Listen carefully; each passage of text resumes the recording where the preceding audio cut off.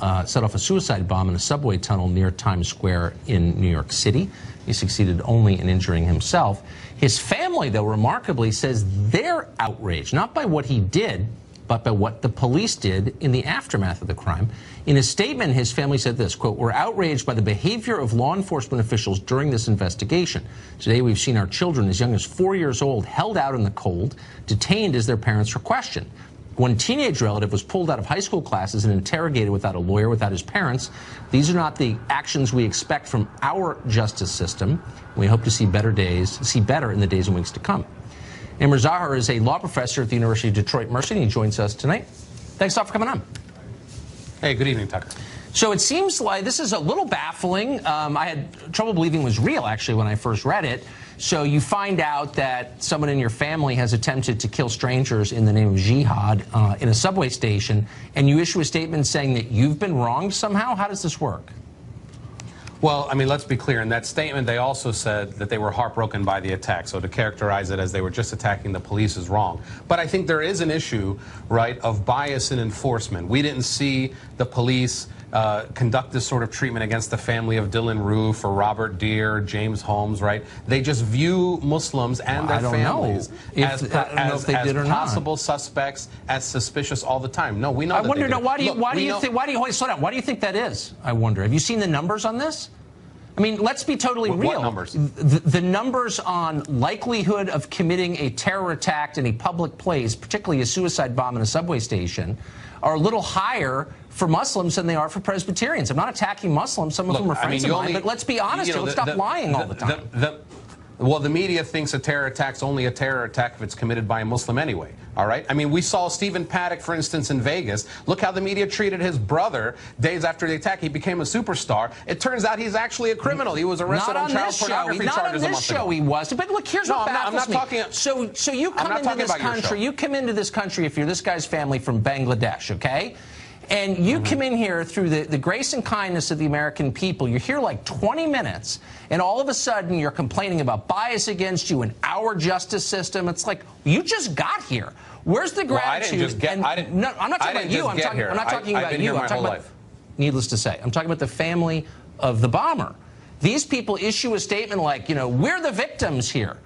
It seems like in a normal well, country, you would say to people who just arrived, like, you know, you should apologize profusely and well, stop there's no, complaining there's no, about well, bias. Let's, let's hold, let's hold on a second. There's no, there's no indication that they didn't cooperate with law enforcement. In fact, Muslims across the country cooperate with law enforcement all the time. I think I'm looking at the bigger picture here, which is there is a bias in law enforcement. Look what happened to the clock boy down in Texas, who they said that he was committing a hoax bomb crime. He was questioned for four hours without a lawyer. They tried to say he was committing a hoax bomb, and it's not a hoax if you're telling everybody it's a you clock. You think he's the only one they didn't think he had a bomb. question without a lawyer? I mean, look, here's the point.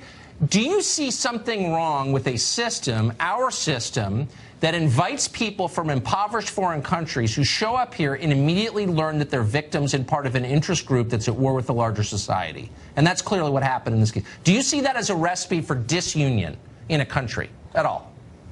Look, I think it's important to criticize uh, law enforcement when it acts in a biased way. Now, in this situation, we see, as in many situations when it comes to Muslim Americans, station. I mean, gee whiz. Nobody's saying nobody's nobody's saying he's not guilty. Of course, he's guilty and should go to jail for the rest of his life. But when you treat his family immediately as accomplices, when you don't do that with white criminals, then we have a problem. They do do it with white criminals. I just had a friend who had his door knocked down by the FBI. You know, you don't know anything. Maybe that's part of your problem Steve, with the way people no, well, are treated Steve, in this country. Stephen, Pat, uh, Stephen Paddock's brother stupid. was a celebrity on the news. Stephen Paddock's brother was treated like a celebrity on the news jail for, for, three days. Something horrible. Now, anyway, this is now he is. Now he is. But they didn't know that when he after the shooting, and he was treated right, like okay. a celebrity on the news. You're you just know, wrong about I wonder this. if people hate this country. Professor, uh, thank you. I don't no, hate I'm serious. They're taught to hate this country, and it's distressing. Dan Bongino is a former NYPD officer, and he joins us tonight. Uh, so, Dan, I, I just want to uh, uh, analyze this in a sober way. I'm getting a little spun up here. Um, is what you know about how the family of this lunatic, about how you know about how they were treated, is it inconsistent with the way law enforcement acts in general? Do you see this as an example of bias from what you know? No, Tucker And that guy has no idea what he's talking about. I know he's not on the air anymore. I get it. Maybe it's a little unfair. But he had his platform. Now I'm going to take a shot at him. That guy's crazy. That is not law enforcement's biased. Does he have any idea how the process works? Let me explain how it actually works for reasonable people out there, not that maniac, okay? Here's how it works.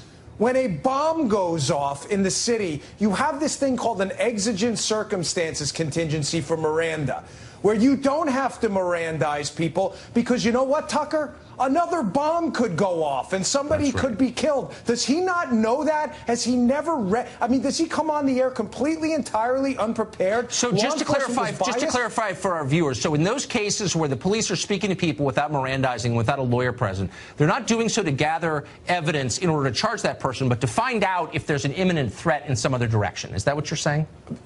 Yes, thank you for saying that, Tucker. One, Miranda, just to be clear, if you're in custody and you're interrogated, plus those statements are going to be used in a proceeding, in a court proceeding later, then yes, you have to Mirandize people. Right. If your primary interest, Tucker, is saving the lives of people who could be killed in an additional bombing. What did you think the cops were going to do to the family of this Bangladeshi man? You think they were going to show up with a plate of tea and crumpets and, and sit down? I mean, is, is that guy kidding me? What did he think was going to happen? What? I mean, do you have any time to go there and say, "Hey, folks, listen, can I give you a back rub?" You go there, you act as professionally as you can, of course, as I know the NYPD does. I work there, but you say, "We've got a problem. A member of your family is alleged to have just blown himself up in a subway. We need information, and we need it now. Is there anyone else involved?" And this is what you know. Out, the family's outraged, Tucker. You know what? We're outraged. You know what we're outraged, outraged about? This CAIR attorney who came on afterwards and gave the statement, by the way,